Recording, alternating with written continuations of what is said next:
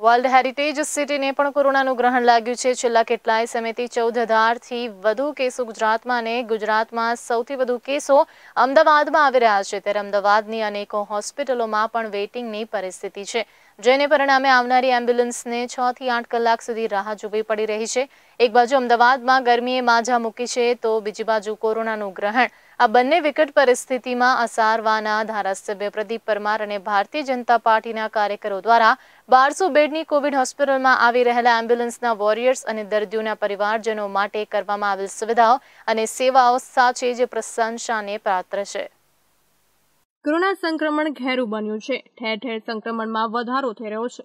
ગુજરાતમાં અને ભારતમાં કોરોના વિશ્વ રેકોર્ડ બનાવી રહ્યો છે. કોરોનાની બીજી લહેર એટલી ઘાતક બની રહી છે કે મૃત્યુ આંકમાં પણ ખૂબ જ વધારો થઈ રહ્યો છે. ભારતમાં કેસ દૈનિક ત્રણ લાખની પાર અને ગુજરાતમાં ચૌદ હજારની પાર આવી રહ્યા છે. ત્રણ મહિના પહેલા જે કેસ હજારોમાં આવતા હતા તે લાખ પર પહોંચ્યા અને ગુજરાતમાં પણ નોંધપાત્ર વધારો થયો છે. આ પરિસ્થિતિમાં તંત્ર દ્વારા હોસ્પિટલોની સુવિધા, બેડની સુવિધાઓ વધારવામાં આવી છે. તેમ છતાં ઠેર ઠેર વેઇટિંગ જેવી પરિસ્થિતિ નિર્માણ થવા પામી છે. અમદાવાદ ખાતે આવેલ બારસો બેડની કોવિડ હોસ્પિટલ ખાતે આવનારી એમ્બ્યુલન્સો માટે પણ વેટિંગ આવી રહ્યું છે અને એ પણ પાંચથી સાત કલાકનું. આટલા કલાકોમાં કોરોના વોરિયર્સ અને એમ્બ્યુલન્સોમાં આવેલા પરિવારજનો ચા નાસ્તો અને સુવિધાઓ આપી ભારતીય જનતા પાર્ટીના કાર્યકરો દ્વારા વિશેષ સુવિધાઓ સ્વખર્ચે આપવામાં આવી છે. અસારવા ધારાસભ્ય પ્રદીપ પરમાર અને ભાજપાના કાર્યકરો દ્વારા આ કોરોના કાળમાં પોતાનાથી કરવામાં આવતી મદદ આવનારા તમામ લોકો માટે હકારાત્મક અસર છોડી રહી છે. આ જ રીતે જો તમામ પક્ષો, તમામ સંસ્થાઓ પોતાનાથી બનતો સંયોગ કરે, તો કોરોનાથી પીડિત લોકો માટે તે ખૂબ મોટું ફાયદાકારક નીવડી શકે છે. કોરોનાએ કાળો કેર વર્તાવ્યો છે. જે રીતે કેસો સામે આવી રહ્યા છે ને છેલ્લા કેટલાય દિવસોથી ચૌદ હજારથી વધુ કેસો આવી રહ્યા છે ને સમગ્ર અમદાવાદની જો વાત કરીએ, તો અમદાવાદમાં પણ પાંચ હજાર ચારસોથી વધુ કેસો સામે આવ્યા છે. બારસો બેડ હોસ્પિટલ જે અમદાવાદ સિવિલ ખાતે કાર્યરત છે, ત્યાં સામેના દ્રશ્યો કેટલાય સમયથી આ રીતે જ દેખાઈ રહ્યા છે કે એકસો આઠના આપણા કોરોના વોરિયર્સ જે હોય છે, તે લોકો કોરોના દર્દીઓને અહીંયા લઈને આવે છે અને તેમને અહીંયા એડમિટ કરવામાં આવે છે, સારવાર આપવામાં આવે છે અને સાજા થઈને તેઓ પરત ફરી રહ્યા છે. કોવિડ દર્દી હોય કે પછી બીજા સાદા દર્દી હોય, તે લોકો માટે તો સુવિધા છે, પરંતુ આપ અત્યારે જે મંડપ જોઈ રહ્યા છો, તે સાચા અર્થમાં જોવા જોઈએ તો એક સુંદર સુવિધાના ભાગરૂપે આયોજન કરવામાં આવ્યું છે. અસરવા ખાતે જે અસરવા વિધાનસભાના ધારાસભ્ય પ્રદીપ પરમાર જે છે તેમના દ્વારા આ આયોજન કરવામાં આવ્યું છે. અને બીજા આયોજનની જો વાત કરીએ તો આપણા જે કોરોના વોરિયર્સ છે, તે વોરિયર્સ ખૂબ સુંદર રીતે પોતાની કામગીરી કરી રહ્યા છે અને તેમની આ કામગીરી સમયે જ્યારે તેઓ અહીંયા આવે ત્યારે તેમને નાસ્તા રૂપે અથવા તો સપ્રેમ ભેટ રૂપે જે રીતે નાની નાની સુવિધાઓ આપવામાં આવે છે, તેમને ઠંડા પીણા હોય કોલ્ડ્રિંક્સ હોય કે પછી તેમની એનર્જી બરકરાર રહે તે હેતુથી જે રીતે સુંદર આયોજન કરવામાં આવ્યું છે, તે સાચે જ પ્રશંસાને પાત્ર કહી શકાય. અમદાવાદની અંદર આવેલ હોસ્પિટલોમાં જે રીતે પરિસ્થિતિ અત્યારે વિકટ બની છે અને અમદાવાદ સિવિલની પરિસ્થિતિ વિકટ છે તે સમયે વોરિયર્સને એક સુંદર પ્રશંસા કરી શકાય તે રીતે તેમના માટે એક સુંદર કામગીરી હાથ ધરવામાં આવી છે. આપણી સાથે અસરવાના ધારાસભ્ય પ્રદીપ પરમાર છે. આપણે તેમની સાથે વાત કરીએ, જાણીએ કઈ રીતે આયોજન. સર, આ આયોજન કરવામાં આવ્યું. વિશેષ કોરોના વોરિયર્સ જે છે તેમના માટે આયોજન છે. શું કહેશો?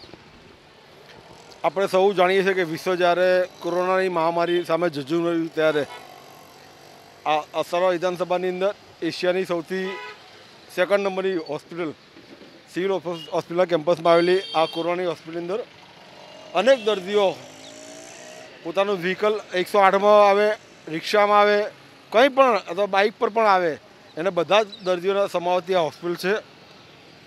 એ હોસ્પિટલની અંદર આવનારા દર્દીઓ ચાર કલાક, પાંચ કલાક, છ કલાક ઘણીવાર તો આઠ આઠ કલાક સુધી બી એમ્બ્યુલન્સમાં એનું વેઇટિંગ હોય છે. એવા વેટિંગ સમયે દર્દીના સગાને, દર્દીને એકસો આઠના કર્મચારી જે સાચામાં કોરોના વોરિયર્સનું કામ કરે છે, એ લોકો માટે અસારા વિધાનસભા, ભારતીય જનતા પાર્ટી દ્વારા ચા, પાણી, નાસ્તો, જમવાનું, ફ્રૂટ જ્યુસ, અનેક પ્રકારની નાસ્તાની સામગ્રીઓ જમવાની આ અસારા વિધાનસભાના કોર્પોરેટરો વોર્ડના કાર્યકર્તાઓ દ્વારા કરવામાં આવી છે.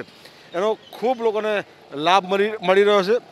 આપ જોઈ રહ્યા છો જે પ્રમાણે આ મંડપ બાંધ્યો છે આખો દિવસ તડકામાં એકસો આઠ અથવા કોઈ પણ વાહન ઊભું રહે દર્દી સાથે અને ખૂબ તકલીફ પડતી હતી. એટલે અસરા વિધાનસભાના કાર્યકર્તાઓ દ્વારા આ મંડપનો એક સુંદર બાંધવામાં આવ્યું છે જેના આધારે બધા લોકો આ મંડપના છાયડાનો લાભ લઈ રહ્યા છે. પ્રશંસનીય કામગીરી હજી કેટલા દિવસ યથાવત રહી શકે છે? કોરોના સંક્રમણ તો ખૂબ જ ઘેરું છે તે સમયે. જ્યાં સુધી કોરોનાનો જંગ જારી છે ત્યાં સુધી અસારા વિધાનસભાનો પ્રત્યેક કાર્યકર્તા એની સામે લડવા માટે જજુમી રહ્યો છે. જે રીતે અહીંયા આવી રીતે આયોજન કરવામાં આવ્યું છે ત્યારે અહીંયા એક આપણી સાથે યુવા પણ છે તેમની સાથે વાત કરીએ. આ જે આયોજન કર્યું છે આખા દિવસ દરમિયાન કઈ રીતે તમે કામગીરી કરો છો અને વિશેષ જો વાત કરવામાં આવે એકસો આઠના જ્યારે વોરિયર્સ અહીંયા આવે ત્યારે તેમની કેવી લાગણી હોય છે? એમને તો સુખ સારી લાગણી હોય છે કેમ કે બહુ લાંબી લાઈનોમાં ઊભા હોય છે. પછી અમને ફ્રૂટ જ્યુસ છે લીંબુ શરબત છે, ચા છે, બિસ્કિટ છે, સેવ મમરા છે, સવારે ફૂડ પેકેટ હોય છે, સાંજે ફૂડ પેકેટ હોય છે, બપોરે નાસ્તો હોય છે. એમને એવો સારો, એમને મળી રહે છે તો એમને થોડું આસ્કારો મળે છે કે ભાઈ આટલી લાઈનમાં ઊભા છે, હવે અમારે કોઈ સેવામાં અમારી માટે પણ કોઈ ઊભું છે.